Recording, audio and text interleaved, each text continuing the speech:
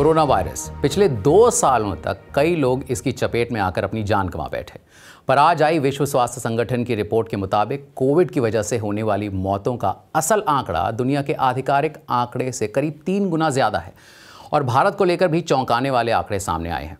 तो वहीं दूसरी तरफ़ चीन में सरकार कोरोना के ओमिक्रॉन वेरिएंट से कैसे निपट रही है, इसकी भी चर्चा होगी आज कवर स्टोरी में।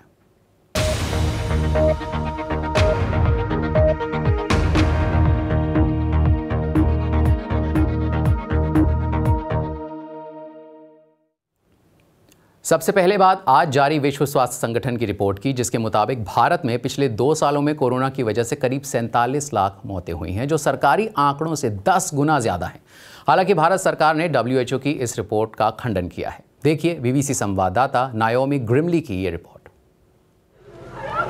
कोविड से दुनिया भर में मची उथल पुथल के बीच जगह जगह शवों का अंतिम संस्कार और जल्दबाजी में उन्हें दफन करने के दृश्य दुनिया भर में नज़र आए। लेकिन क्या कुछ देशों ने महामारी के दौरान हुई लोगों की मौत की गणना कम की? स्पॉट था, लेकिन जब भर गया इधर, फिर ये भी भर गया, हमारा फोर्टी सिक्स भर गया।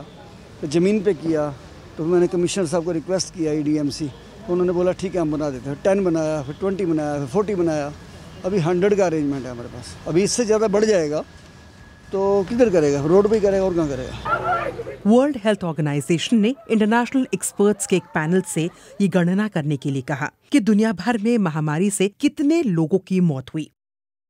In the first two years of the pandemic, महामारी के पहले दो वर्षों में ये समझा गया कि दुनिया भर में लगभग 55 लाख लोग कोविड की वजह से मारे गए। लेकिन डब्ल्यूएचओ को अब लगता है दुनिया के कुछ हिस्सों में अनियमित टेस्टिंग, रिकॉर्ड को ठीक से न रखना और लॉकडाउन के दौरान बिना कोविड के हुई मौतों को अगर मिलाया जाए तो कुल मिलाकर एक करोड़ पचास लाख से ज़्यादा लोग मारे गए इट्स अ tragedy. ये एक ट्रेजिडी है। ये आंकड़ा हैरान करने वाला है। हमें उन जिंदगियों का सम्मान करना है जिन्हें हमने खो दिया है और हमें पॉलिसी बनाने वालों को जवाबदेह ठहराना है।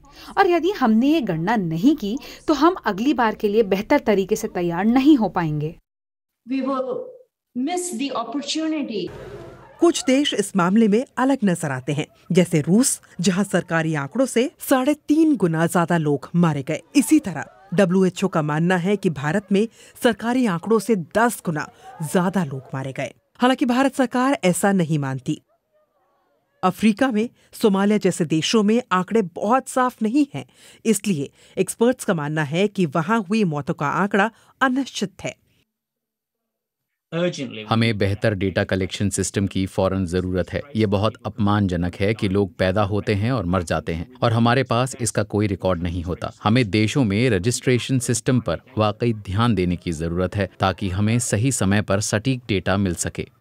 डब्ल्यूएचओ की ये रिपोर्ट इस बात की पुष्टि करती है कि अमेरिका, ब्रिटेन, स्पेन और जर्मनी जैसे देशों में महामारी के दौरान दुनिया भर के औसत से ज़्यादा मौतें हुई, जो याद दिलाता है कि धनी देशों के लिए भी महामारी से निपटना आसान नहीं था। Naomi Grimley BBC news corona से हुई मौतों के बारे में डब्ल्यूएचओ के दावे का भारत ने खंडन किया है।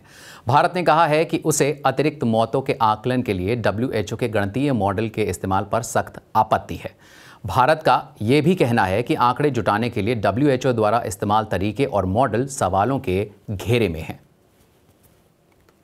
और कोविड से हुई मौतों के बारे में डब्ल्यूएचओ के आंकड़ों और भारत सरकार द्वारा उनका खंडन इस बारे में जानकारों का क्या कहना है? यही जानने के लिए बीबीसी संवाददाता जय शुक्ला ने महामारी रोग विशेषज्ञ डॉक्टर तन्मय महापात्रा से बात की। एक बात तो कोई क्वेश्चन ही नहीं है इसके बारे में कि देयर आर एक्सेस डेथ्स लेकिन ये एक्सेस डेथ कितना परसेंटेज है? मतलब इसमें तीन चीज़ है। एक है कितना डेथ हुआ है। दूसरा है, उस उसमें कितना एक्सेस डेथ है मतलब जो होना चाहिए था, जो जनरली होता है, यहाँ का डेथ रेट के हिसाब से उससे कितना ज़्यादा हुआ है। एंड तीसरा है, जितना डब्ल्यूएचओ का रिपोर्ट में आ रहा है और जितना गवर्नमेंट का रिपोर्टेड है, उसका डिफरेंस जो है, वो क्यों है? तो मुद्दा तीन है। तो इसके पहला बात क्या है कि डेथ जो है, वो तो एक्सेस डेथ हुआ ही है। इसमें कोई क्वेश्चन लेकिन ये एक्सेस डेथ जो है ये कितना ज़्यादा हुआ है, उसमें क्वेश्चन में ये सारे फैक्टर्स हम जो डिस्कस कर रहे हैं, उसका रोल है। कंफ्यूजिंग विद कोमोर्बिडिटीज यानी कि दूसरा बीमारी के कारण डेथ बोला गया जो कोविड के होना चाहिए था। ऐसा प्रॉब्लम है। पहले जब कोविड हुआ था, वो बताने से कौन पकड़ के लेके जाएगा, कौन जाके अल्टीमेटली डाल देगा क्वारंटाइन सेंटर में, कौन अल्टीमेटली अपने घर में डिस्क्रिमिनेटेड हो जाएँगे, या अपने मोहल्ले में, ये सब डर भी तो था। तो उसके कारण भी था अंडर रिपोर्टिंग ऑफ़ एसिम्टोमेटिक या माइल्ड सिम्टोमेटिक केसेस या लेस सीवियर केसेस वो भी था। उसके बाद उसके अंडर जो डेथ है वो तो अंडर रिपोर्टेड भी हुआ है। So it is a combination of all these errors इतने सारे जो सुराग है, एक गलतियों को इस आंकड़े में के अंदर जाने का, वो सारे उधर छोड़ा हुआ है। लेकिन पॉपुलेशन साइंस का डेटा साइंस का जो पैटर्न है, उसमें रिग्रेशन टू मीन बोल के कुछ रहता है। जिसमें एक पॉजिटिव एरर और एक नेगेटिव एरर एक दूसरे को थोड़ा सा काउंटर बैलेंस करता है।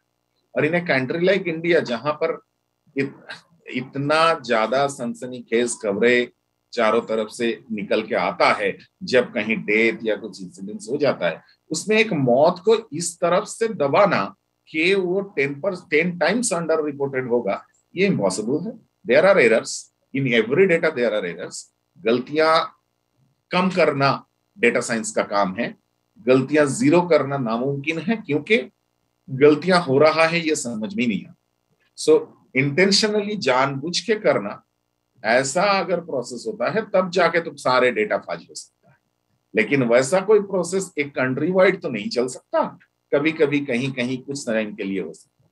सारे मिला के मेरा कहना है कि एक्सेस डेथ है।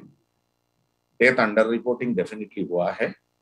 उसका एग्जैक्ट वैल्यू निकालने के लिए सर्वेलेंस डेटा के सब ग्राउंड डेटा को